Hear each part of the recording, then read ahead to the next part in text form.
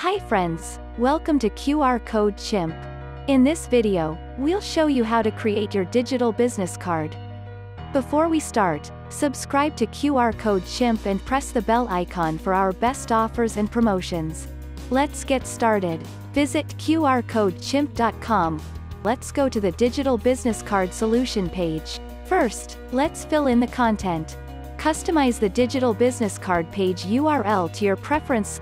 Select the template for your digital business card. Enter your profile details, such as name, job title, and company name. Also, fill up the contact details, social links, images, and web links, if any. You can also add additional subcomponents by clicking on the Add button of the respective component. Choose to hide, delete, move the components whenever needed. Click on the Add Component button to include additional sections such as a button, video, PDF gallery, etc. You can view all the details you've added or modified by scrolling through the DBC here. Let's move on to customize the digital business card. Click on the Design, Settings tab to customize the page design. You can add a background image or video to your digital business card, choose a color for a page or add your preferred color code.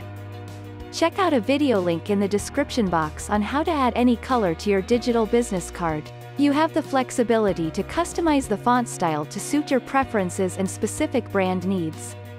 Edit the card style by choosing the background color.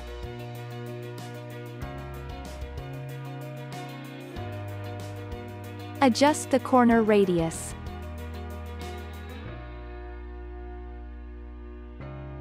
Or add a shadow to the card.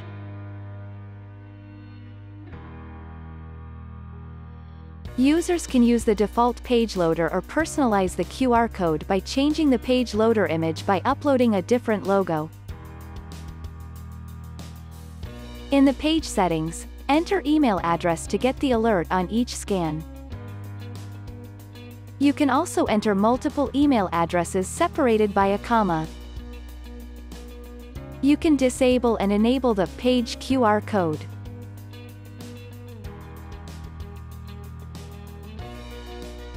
and page sharing option, if needed.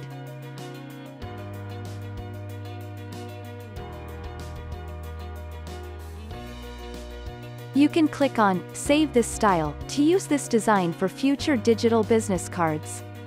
Your saved styles will appear in the Saved Style section. Next, move to the QR code tab. Let's decorate the QR code for your digital business card. Choose the shape option which fits the best for your purpose. You may select predefined QR designs. Now, let's apply the sticker with call to action to get more scans. Add colors to make it more attractive. You can change QR body shape. You may choose the existing logo or upload your own. You may apply the 3D effect as well. Let's close this design section to continue saving. Now save your QR code by providing it a name, and you are all done. See the newly made QR code on your dashboard. That's all for this tutorial. Subscribe for more such helpful videos.